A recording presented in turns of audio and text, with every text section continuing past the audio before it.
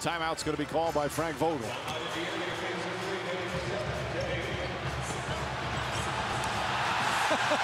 Russell Westbrook just tried to. He blocked two shots. Paul George's shot, and then because George Hill was taking a shot after the buzzer, he came and blocked that again. and then falls down, much to the delight of the crowd. Even competitive during timeouts. 5.48 remaining. Seven point game.